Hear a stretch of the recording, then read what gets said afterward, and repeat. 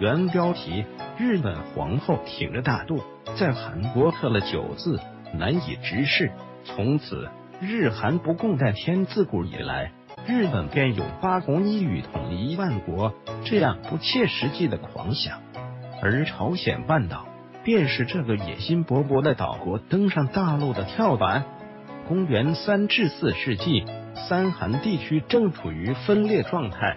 而日本趁机将触角伸入朝鲜半岛，妄图在当地扩张领土。根据日本最早的史书《日本书记》记载，